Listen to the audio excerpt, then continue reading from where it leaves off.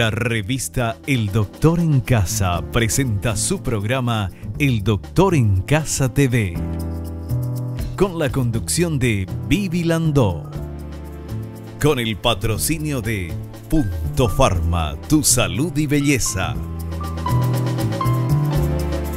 Haggis, bienvenida a la vida de padres, una vida caóticamente hermosa. McDonald's, me encanta.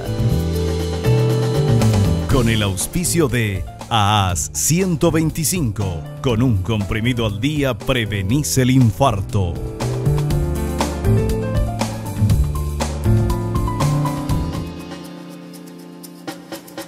Hola, hola, hola, ¿cómo están todos? Muy, pero muy bienvenidos. Esto es El Doctor en Casa. Nosotros hoy vamos a hablar de un tema muy importante, más aún en un país como el nuestro, con tanto sol durante todo el año. Vamos a hablar de cáncer de piel. Hay un índice muy alto de cáncer de piel en el mundo y en nuestro país. ¿Quién va a hablar con nosotros? La doctora Gisela Hutter, ella es dermatóloga, ya está, ya está aquí en nuestra casa y en instantes vamos a estar hablando con ella. Y atención con este tema del cáncer de piel y estos datos que nos da la OMS, la Organización Mundial de la Salud.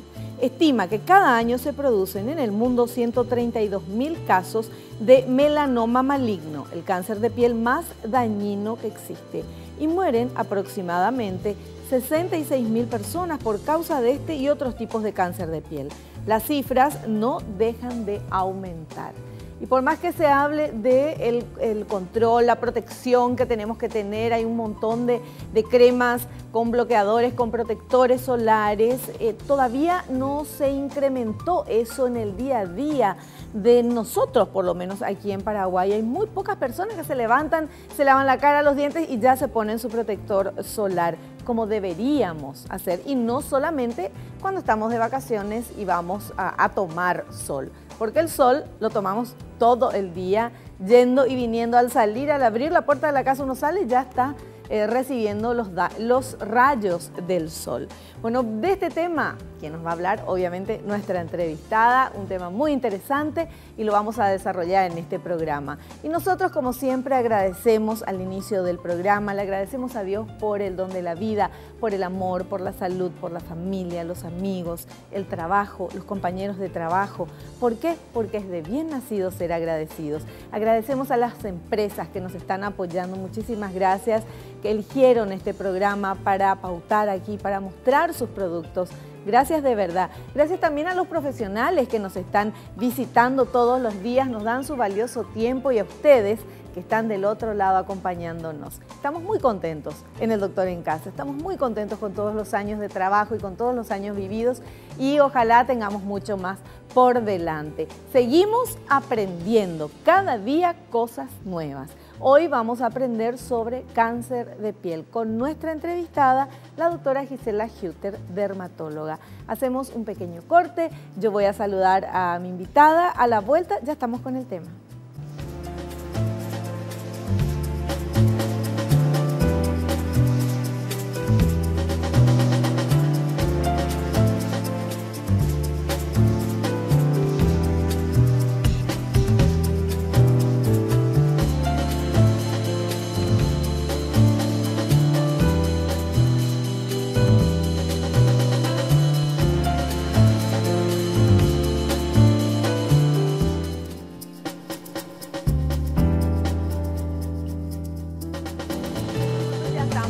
Acá con nuestra entrevistada, porque lo que pasa es que el tema que vamos a hablar es cáncer de piel y ella sabe que a mí me encanta tomar sol. Entonces, bueno, estaba tratando de convencerle de que me dé permiso para tomar en el horario que me gusta, que es al mediodía.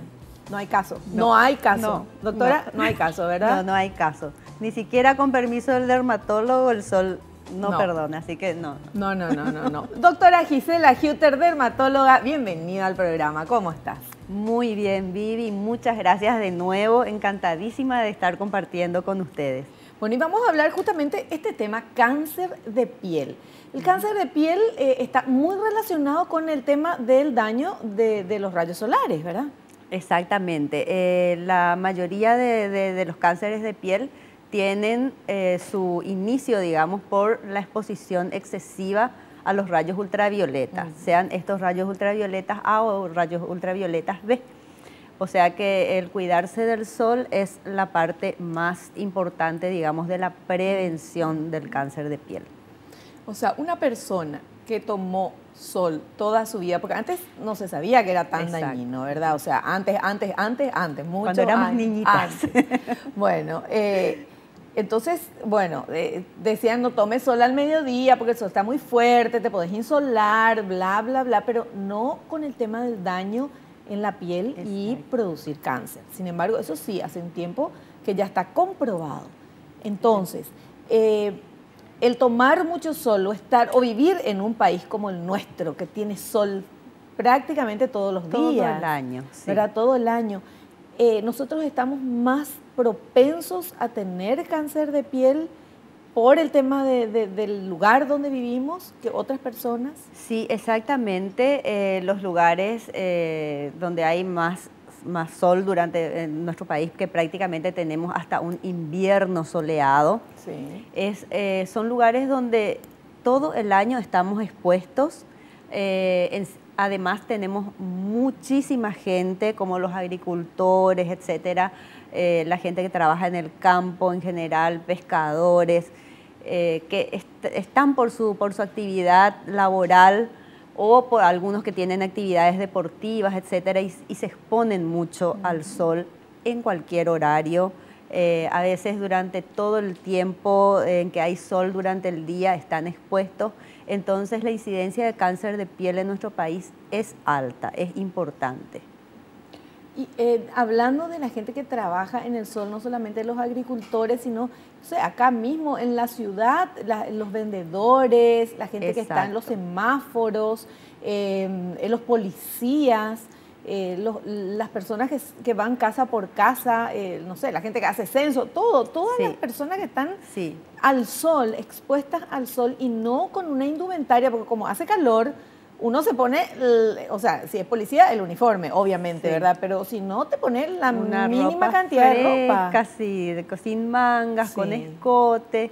No usamos, no, no tenemos la, e, esa costumbre de usar sombreros que, nos protegerían, ¿verdad? El, rostro por lo menos. Y sí, realmente, eh, generalmente yo le digo a mis pacientes, eh, no exponerse al sol. Y me suelen decir, yo no tomo sol. Entonces le pregunto qué tipo de actividades hace. Y justamente me, dice a veces actividades como esas, ¿verdad? Que, trabaja en la calle, que, va y viene y tiene que bajarse del auto. Basta con eso para decir que es una persona que se está exponiendo al sol. Entonces, eh, la protección solar tiene que ser de todos los días, en todas las personas y a todas las edades. Y el protector solar tenemos que ponernos, o sea, nos levantamos, nos damos una ducha, nos lavamos la cara, los dientes y ahí uno ya se tiene que poner ya el protector. Ya se tiene que poner el protector, tiene que ser una rutina, eh, tiene que, renovarse esa, eh, la aplicación de, de ese protector solar porque ya para el mediodía, si es que esa persona trabaja, por ejemplo, en una oficina y al mediodía sale para almorzar, para el mediodía ese protector que se puso a la mañana temprano ya no está haciendo el mismo efecto, entonces ya tendría que renovar la aplicación. Y si va a salir otra vez, a, pongámosle a las 5 de la tarde, en que en esta época del año hay un sol, pero todavía fuerte, entonces deberían renovarse. Y si uno está en la playa, con más razón, cada dos horas tiene que renovar la aplicación del protector solar y también cada vez que sale del agua, entra al agua, cuando sale tiene que secarse y volver a aplicarse el protector solar. Esa es la manera correcta de usar el protector solar. Bueno, después te quiero preguntar, ¿cómo nos damos cuenta? ¿Qué aparece? ¿Una manchita, un lunar? Eh, o, puede aparecer nomás el cáncer de piel y no tenemos ningún rastro así que se pueda ver de afuera? Generalmente eh, se inician como manchitas que luego ya van eh, teniendo algún tipo de textura, o sea que al tocar ya se nota que no es una piel lisa, que ya se ve algún tipo de aspereza o algún tipo de protuberancia puede ser muy pequeño, puede ser muy pequeño, eh, y sobre todo que no cura, no se cura. Mm. Porque si fuese una herida, una picadura de insecto, etcétera, es algo que va a durar unos días y va a empezar a retroceder, incluso normalmente sin tratamiento. Pero cuando nos damos cuenta de que está pasando ya 15 días, eh, 3 semanas y eso no está curando, ya deberíamos estar pensando que algo raro pasa e ir al dermatólogo y ver que nos aclare eh, qué, qué es lo que está pasando y nos haga el tratamiento indicado para cada caso. Bueno, después vamos a hablar, vamos a seguir hablando evidentemente, pero tenemos un material preparado por nuestro equipo de producción, señor director, si podemos ver.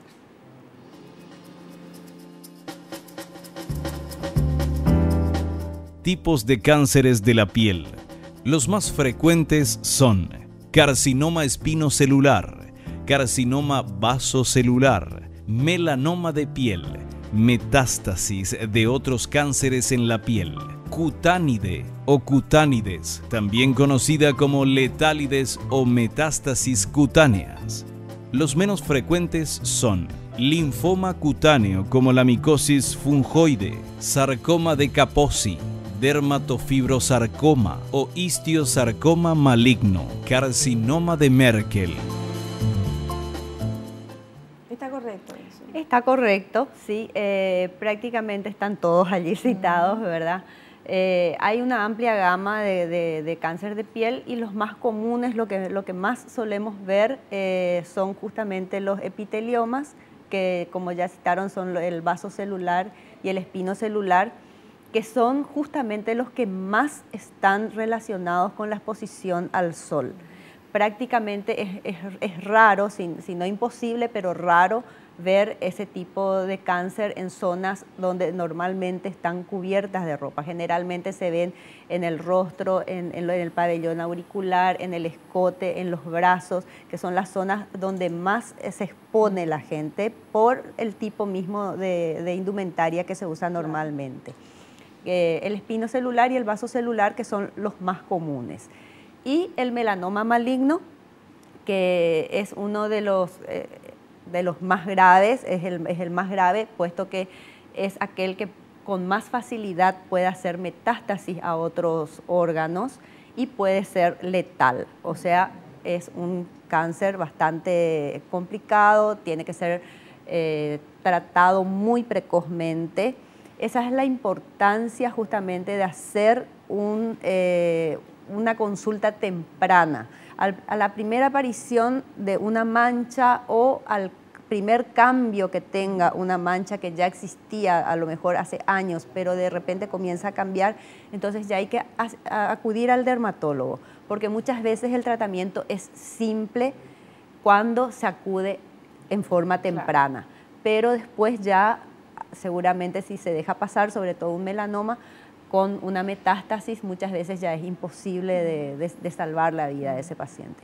O sea, estamos hablando de salvar vidas, o sea, estamos hablando de, que un, de que te mires y que veas de repente un, no sé, una manchita que apareció y está creciendo, esto no está, tomar turno en el dermatólogo, ir y mostrar eso, porque puede ser nada más que una manchita, pero puede ser el inicio algo. Exactamente. Si se toma a tiempo, doctora, ¿qué se hace? ¿Se, corta, se saca, se extrae? Sí, ¿qué? según cuál sea el tipo de, cáncer que, esté presente, la técnica puede ser diferente. Puede ir desde la escisión simple, que es el cortar con el bisturí, se sutura, generalmente eh, se deja alrededor de lo que vemos eh, a simple vista, alrededor se saca un poco más de piel sana, que es lo que le llamamos eh, un límite de seguridad, ¿verdad? y se sutura, se cierra la herida y si es justamente como te decía, si eso se, se tomó a tiempo, eso se manda a analizar el anatomopatólogo nos da el resultado donde dice si ese, si ese cáncer se sacó íntegramente, si no quedó una parte de él, porque muchas veces no se ve a simple vista, solamente al microscopio. Entonces, de acuerdo a eso, el cáncer puede ya con eso estar curado. Se pueden usar técnicas con láser, se pueden usar otros, otros tratamientos si es que es un cáncer muy inicial, se puede usar la electroescisión, o sea, con electrobisturí eh, o con eh, radiofrecuencia, incluso, ¿verdad? Se puede se pueden sacar en forma, digamos así, bien superficial cuando es un cáncer muy pequeño y muy superficial. Y también incluso se usan eh, sustancias químicas como el 5-fluoracilo, que, que viene en forma de, cremas que se aplican sobre la lesión y con el tiempo eso va descamando hasta llegar a la desaparición total. Por eso depende mucho de qué tipo de cáncer eh, sea, qué es lo que sospechamos. Generalmente hacemos una biopsia antes para saber ante qué tipo de lesión nos encontramos. Entonces ahí decidimos qué tipo de tratamiento también y cómo vamos a encarar ese tratamiento. Bueno, el tema de, cáncer de piel necesita un tiempo para desarrollarse. O sea, ahí es más frecuente ver en personas mayores que en niños. Sí, eh, es más frecuente en personas mayores, eh, si bien últimamente estamos viendo mucho en personas eh, más jóvenes debido al exceso de exposición a los rayos ultravioletas por la moda del bronceado justamente, pero sí necesita un tiempo. Generalmente nosotros hacemos hincapié en que se cuide mucho la exposición al sol de los niños y los adolescentes. Porque a esa edad es que van haciendo juegos al aire libre y una a veces no se da cuenta, el chico se quema, eh, tiene una quemadura de, primer grado, con dolor, eritema, etcétera, y no se le da mucha importancia. Y sin embargo, esa quemadura que tuvo el chico ya deja un daño en la célula que se va a ir eh, reproduciendo, a medida que esa, célula se reproduce, se reproduce con ese daño. o sea que esa célula tiene como una memoria, digamos, y no se, ese, ese daño ya es irreversible. Y eso es lo que se va sumando. Entonces, por eso es que generalmente se ve en personas con, más edad, porque a medida en que se va sumando, ya llega un momento en que la piel no, soporta y entonces ya se malignizan las células. Bueno, interesantísimo todo lo que nos está contando, más aún para todos nosotros, porque vivimos acá, como ya decíamos al inicio del programa, es un país maravilloso con un sol radiante entonces vamos a, ser inteligentes y a poder disfrutar de nuestro calor, del verano y de todo el año que tenemos tan lindo tiempo, pero con protección para que no nos haga daño. Vamos a hacer un pequeño corte y volvemos enseguida.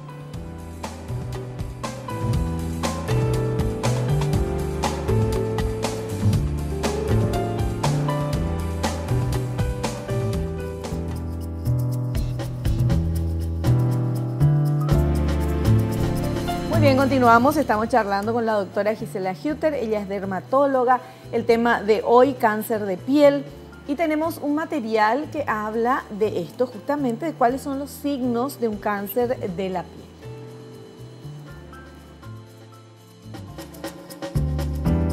¿Cuáles son los signos de cáncer de la piel?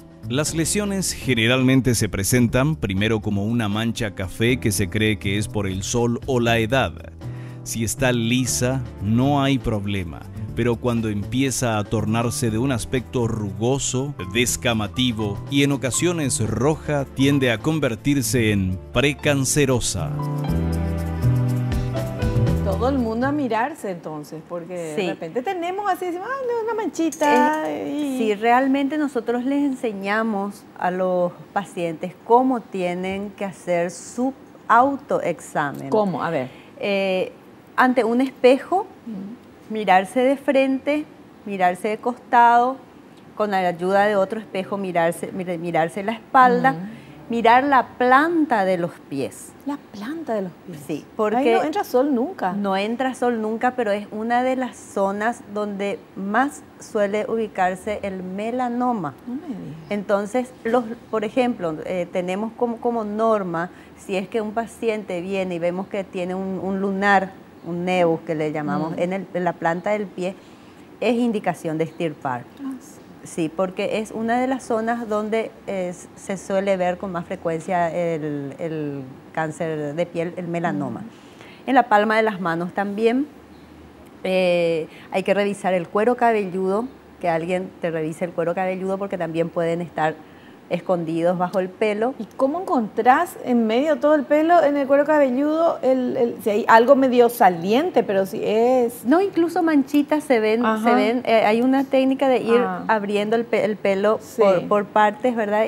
Y, se, ven. Y si uno toca y siente, ya con más razón, tiene que hacerse ver. Eh, y eso hay que hacer periódicamente, uno tiene que conocer los lunares que mm. tiene, si es que tiene alguna, algún cambio, eh, ya sea de forma, de tamaño, de color o tiene algún signo inflamatorio como que está rojo, pica, duele, sangra, etcétera, eso es un signo de alarma. Entonces hay que consultar al, dermatólogo. Eh, y el, el, autoexamen, como te digo, el autoexamen es algo fácil, es nada más que con un espejo y hacerse eso periódicamente. Y las personas que tienen algún algún riesgo, algún factor de riesgo, tendrían que hacerse ver por un dermatólogo por lo menos cada seis meses, como para ir haciendo un chequeo ya dermatológico para eh, poder descubrir a tiempo una, una, lesión y poder hacer el tratamiento inicial, ya cuando la, lesión está en su inicio. Las personas, hablábamos en el otro bloque, las personas que por su profesión o hobby eh, están mucho tiempo al sol, como por ejemplo los marinos, eh, están en los barcos, están en, alta mar o acá en el río o lo que sea, eh, están expuestos al sol.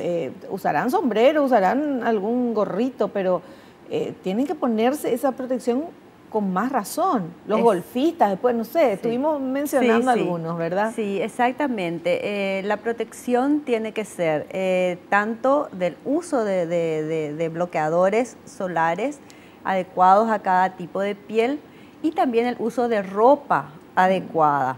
Eh, generalmente la gente quiere usar más ropas, como estábamos diciendo, frescas, abiertas, pero si tiene que realizar una actividad de ese tipo, tiene que acostumbrarse a usar camisas o ropas con mangas largas, pantalones, usar sombreros de alas anchas, que son los que realmente cubren. Generalmente la gente quiere usar el kepis nada más, pero el kepis deja eh, eh, expuesto tanto la oreja, la nuca, etcétera, cubre nada más que una parte del rostro. Entonces nosotros siempre les decimos que sea de ala ancha y completo, ¿verdad? Entonces es eh, la protección tanto con, el, con el uso de productos eh, eh, bloqueadores solares, como también usar la ropa adecuada. Y no olvidarse de proteger los ojos también, usar lentes de sol con protección para UVB y UVA, porque los ojos también se dañan con el sol. hay más incidencia de cataratas en personas que se exponen mucho al sol sin, proteger, sin protegerse. Bueno, todo es muy, pero muy importante y tenemos también otro material preparado, obviamente, por nuestro equipo de producción. Vamos a ver ese material, por favor.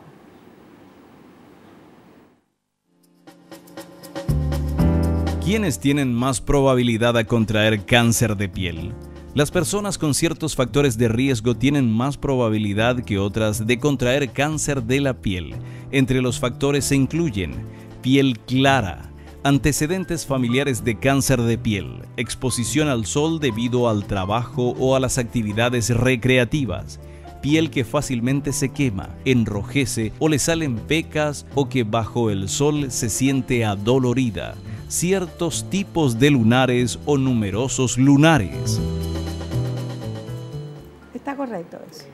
Está correcto. Eh, las personas eh, también que tienen antecedentes familiares de cáncer de piel, por supuesto, son también más propensas.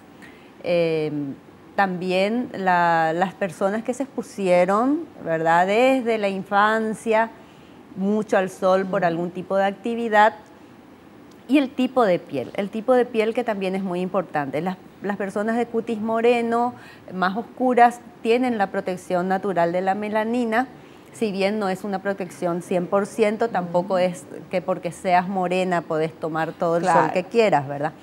Pero sí tienen mayor protección que una persona de fototipo 1, por ejemplo, que es la, persona de piel muy blanca que nunca se broncea. Es la que se pone colorada. Se pone colorada, pero nunca ah. se broncea. Pero ahí lo mismo se daña. Se daña, se daña, eh, porque justamente el bronceado es una defensa natural de la piel que está siendo agredida por el sol. O sea que nosotros lo tomamos como moda y realmente es una piel que está pidiendo a gritos que se le deje de exponer al sol porque ya se está sintiendo agredida. Eh, entonces estas personas de, piel muy blanca y las, las personas que, que tienen pecas, las pelirrojas, por ejemplo, son también muy propensas al cáncer de piel. Son una de las pieles más delicadas con respecto al sol. Y eso ya desde chiquito hay que inculcarles el cuidado y el uso de, protectores. Y el tema de eh, las, o, sea, vamos a centrarnos un poquito en esta moda de estar bronceado, que ahora, entre paréntesis, ya está pasando de moda, ¿verdad? O sea, la moda ya no es como era antes de estar negra, carbón o dorado, así es. Ahora tienes que tener un, la moda, la moda, no, no es que digamos acá en el doctor en casa, la doctora dice mejor no ponerse al sol, ¿verdad? Pero la moda es, eh, bueno, un, toque así, un colorcito, ¿verdad? Apenas. Ahora, eh, con este tema de tener ese color del verano, que aparentemente es más saludable, que nos gusta más porque estamos acostumbrados, justamente eso iba a preguntar, las camas y las duchas solares, que llegaron, que fueron un boom ya hace 20 años acá en nuestro país y que aparentemente protegían y no tenían los daños eh, los rayos malignos del sol, ¿verdad? Eh, y nos damos cuenta que no es así ahora. No, eh, de hecho, las camas solares y, todos los dispositivos semejantes como duchas solares, etcétera, emiten rayos ultravioletas A, que son los que dan el bronceado. Se creía antiguamente que los rayos ultravioletas A no eran precursores del cáncer de piel, sin embargo, ahora ya está comprobadísimo de que son justamente los precursores del melanoma. Entonces, eh, el exponerse a este tipo de, aparatos, ¿verdad? Es también exponerse a tener un cáncer de piel.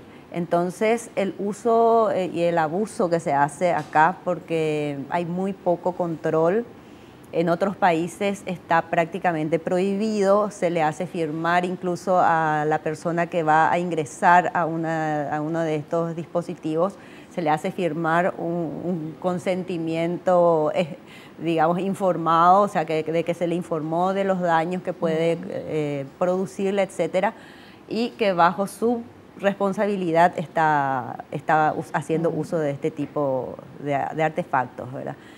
Em, y son tanto o más dañinos que exponerse al sol, porque exponerse al sol en un horario eh, fuera del horario peligroso, que va desde las 10 de la mañana hasta las 4 de la tarde, es el horario peligroso, es, es más saludable exponerse al sol en un horario no peligroso que exponerse excesivamente a una cama solar, porque la cantidad de rayos ultravioletas que emite una, cama solar es muy superior a la cantidad de rayos ultravioletas que va a recibir esa persona.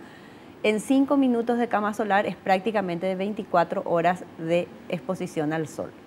Entonces es algo que hay que tener muchísimo cuidado y eh, realmente nosotros no recomendamos el uso de, además, además también está eh, el, el, service que se le puede hacer a la cama solar, eh, que supuestamente está todo, debería estar 100%, pero sabemos que no es así. No, realmente. la palabra mantenimiento es algo que prácticamente en, nuestro, en nuestra cultura acá no, no conocemos y realmente incluso en países europeos se hicieron eh, estudios sobre ese tema, sobre el estado de, estos, dispositivos de bronceado artificial y se notaron que la mayoría no contaba con el mantenimiento necesario. Imagínate si allá en el primer mundo no lo están haciendo, lo que sería acá en Paraguay, ¿verdad? Entonces hay que tener eso también en cuenta. Al no, al no tener eh, un mantenimiento adecuado, no solamente emiten rayos ultravioletas A, sino que pueden emitir otros rayos ultravioletas como el, ultravioleta B y también incluso los ultravioletas C que ni siquiera llegan a la superficie de, ah. la Tierra y son muy dañinos y a veces pueden ser emitidos por estos aparatos que no están bien calibrados, no están bien mantenidos. ¿Y el Ministerio de Salud no tiene intervención en eso? ¿No tiene que autorizar, pregunto, ¿verdad? ¿No tiene que autorizar eh, que en algún lugar se utilicen o no y controlar o no? O, uno trae nomás, comprar tu cama solar, pones y ya está. Y bueno, lo, lo, que es en nuestro país, todo lo que sea control es un poco difícil de hacer. Eh, generalmente estos dispositivos están, no van a estar en una clínica dermatológica, de hecho, porque entonces eh, generalmente están en, en spas, en peluquerías, en, salones de belleza, etcétera, que son habilitados, tienen su habilitación. Ahora, ¿quién va a ver si se hace o no se hace el mantenimiento de, esos aparatos? Eso es lo, que prácticamente no, bueno, se hace. Eh, Conclusión, toma sol nomás, el sol de verdad, hasta las 10 de la mañana y a partir de las 4 de la tarde. Y lo mismo va a tener un lindo bronceado. Con protector, igual. Con protector. el protector, lo mismo, uno se broncea con el protector. Igual, porque no tenemos hasta ahora, eh, lastimosamente para nosotros los dermatólogos, pero no tenemos hasta ahora un, un protector solar, un bloqueador o una pantalla solar que nos impida el 100% de la llegada de, los rayos ultravioletas a la piel. Hasta ahora no existe. Eso que nosotros vemos factor de protección 100 no quiere decir que, sea, que, esté bloqueando el 100%, sino que eso es, es todo un cálculo que se hace para llegar a ese número, pero que no tiene nada que ver con el porcentaje de protección que da. Es, es otro, es un índice que nosotros le llamamos. Perfecto. Bueno, doctora, vamos a hacer un pequeño corte, seguimos enseguidita.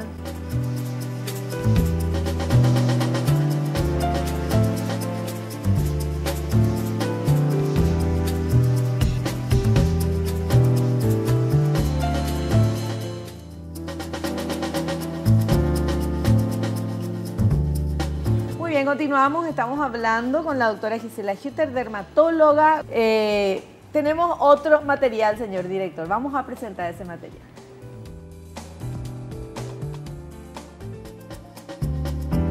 Recomendaciones. Manténgase en la sombra, en especial durante las horas del mediodía. Use ropa para proteger la piel expuesta.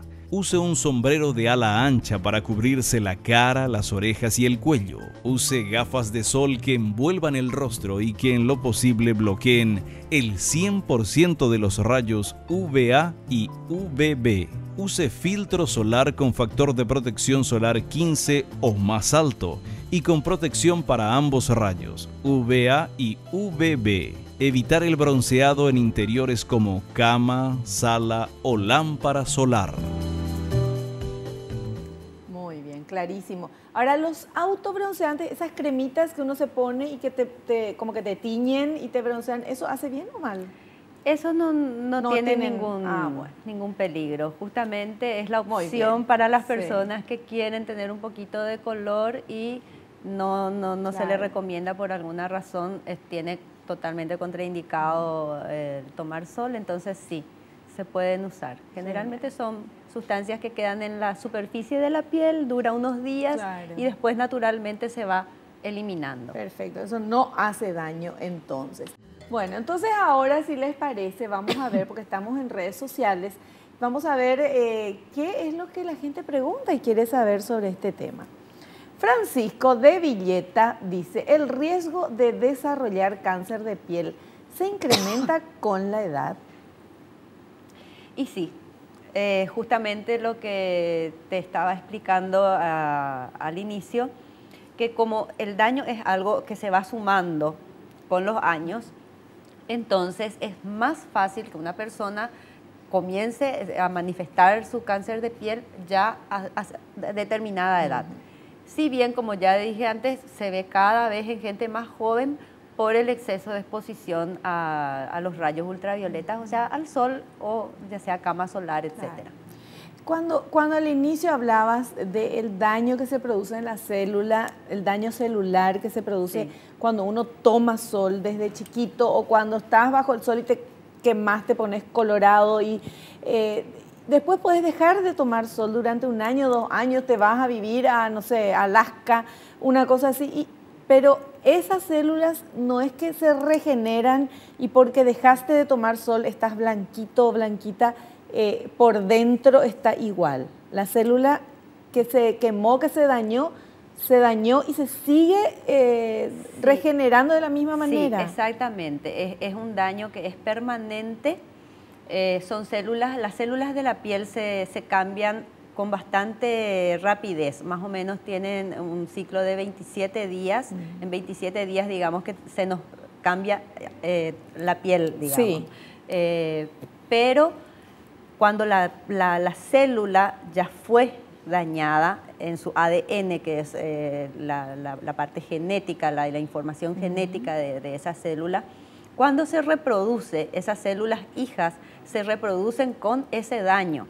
O sea que ese daño es permanente y es acumulativo, se va sumando cada vez que, con cada exposición, con cada exceso de exposición, se va sumando el daño al daño anterior y se va haciendo cada vez más grave hasta que la célula ya comienza a producir células malignas, células cancerosas, cuando el daño ya fue, digamos, excesivo y ya esa célula no puede producir una célula normal.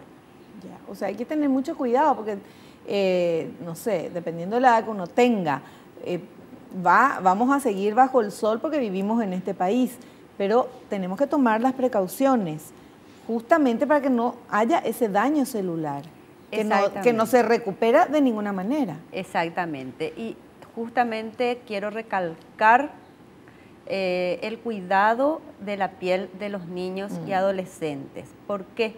Porque cada persona, según su tipo de piel, según el fototipo que nosotros le llamamos, que, depende del, color y de la reacción de esa piel al, sol, eh, nace ya con una cantidad determinada de sol que puede tomar durante toda su vida sin que se produzca daño.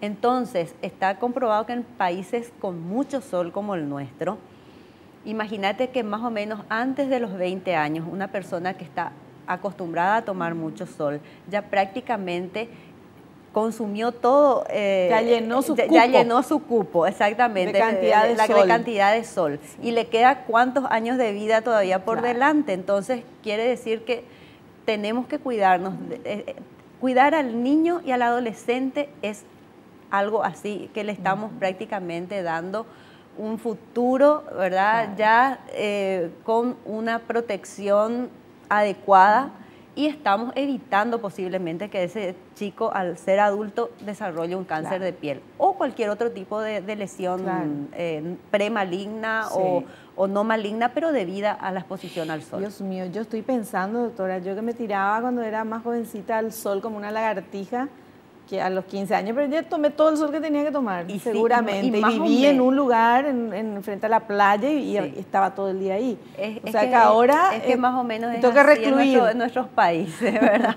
y no solamente estamos hablando de la parte grave, gravísima, digamos, que es el cáncer de piel. Está el, fotoenvejecimiento precoz también, también, que son la formación de manchas, arrugas, eh, eh, surcos, etcétera. O sea que también acelera el envejecimiento de la piel. Claro, y estamos hablando también de tomar sol. Hablemos un poco del campesino, de la gente que no es que está disfrutando, sino que está trabajando y va a trabajar, comienza a trabajar desde chiquito y sigue trabajando hasta el último día y es esa piel curtida. Eh, y, y no, aunque tengan la indicación y el conocimiento, ¿verdad? La información de que deben protegerse muchas veces eh, no, tienen el dinero para comprar eso. Claro, entonces justamente es que decimos que es muy importante la ropa, mm. la vestimenta. Usar las camisas de mangas largas, pantalones, el cuello cerrado mm. y los sombreros de ala ancha. Mm que en nuestro país tenemos nuestro sombrero piri que es fresco, así que puede usar en verano y no, no, no, no da calor. Entonces hay que fomentar eso, hay que fomentar el uso de los sombreros de ala ancha y a las personas que tengan que estar eh, expuestas al sol por su trabajo, también el uso de camisas y pantalones ¿verdad? largos que le cubran la mayor parte de, la piel, por lo menos. Perfecto. Tenemos otra consulta, ¿verdad? En redes sociales. Vamos a ver. Mirna de San Lorenzo dice, ¿cuáles son los tratamientos para el cáncer de piel? Y bueno, eh, el tratamiento del cáncer de piel depende de qué tipo de cáncer sea y también de cuál sea el estadio en que mm. encontramos a ese cáncer de piel. Un cáncer de piel inicial incluso puede ser tratado en un consultorio, a veces no hace falta llegar a un quirófano, se simplemente se lo quita, eh, puede ser ya, eh, como dije, la, la decisión simple que es cortar con el bisturí, suturar, mandamos a analizar eso. A veces es simplemente quemar con el electrobisturí, eh, que es la electrocoagulación o electrofulguración a veces con el uso de sustancias químicas sobre la, lesión también se pueden curar. Y si el cáncer ya está más avanzado y es eh, un cáncer que tiende a ser metástasis como el melanoma, etcétera, ya hay que hacer otro tipo de estudios, ver qué tanto está tomado, si, si no hay algún ganglio ya tomado, por ejemplo, de la zona entonces ya hay que, el, tratamiento ya pasa a otro tipo de, a, otro estadio, digamos que ya es el uso, por ejemplo, de quimioterapias, radioterapias, etcétera. También se usa muchas veces radioterapia en personas a quienes no se les puede someter a cirugías por alguna razón. Entonces, el tratamiento es de acuerdo a lo que encontremos y de acuerdo a, qué tipo de paciente estamos tratando. Pero el tratamiento precoz es lo más importante, porque es un tratamiento generalmente simple, es un tratamiento que se puede hacer en consultorio y con un tratamiento que a veces dura unos minutos podemos salvar a esa persona de tener un cáncer más importante. Perfecto. Vamos a hacer un corte. A la vuelta continuamos con el tema.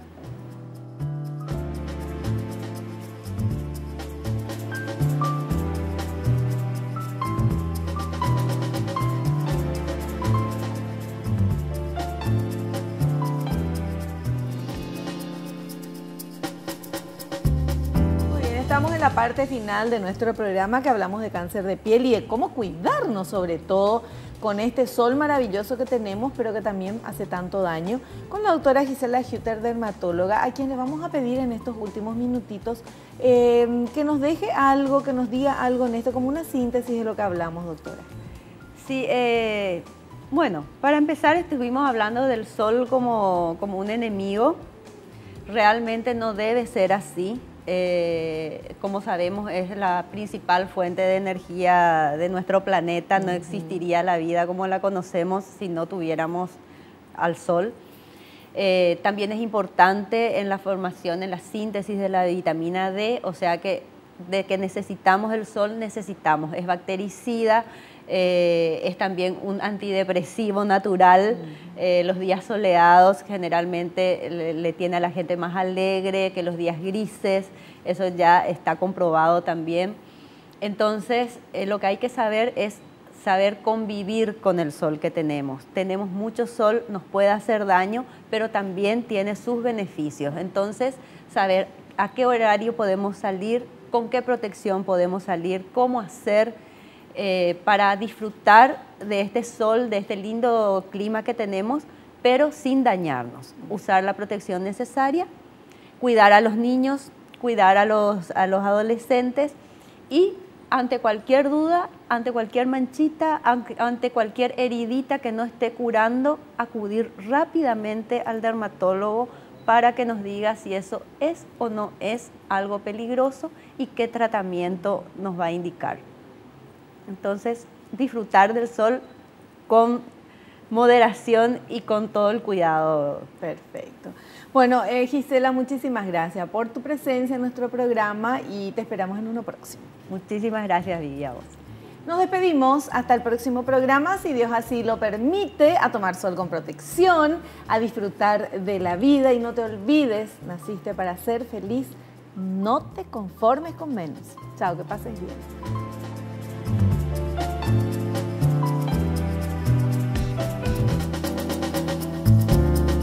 La revista El Doctor en Casa presentó su programa El Doctor en Casa TV con el patrocinio de Punto Pharma, tu salud y belleza.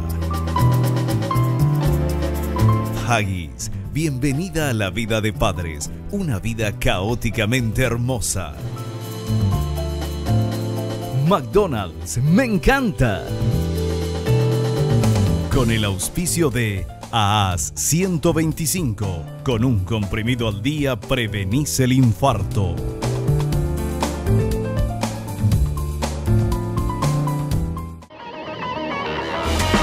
fue una realización de Alicante.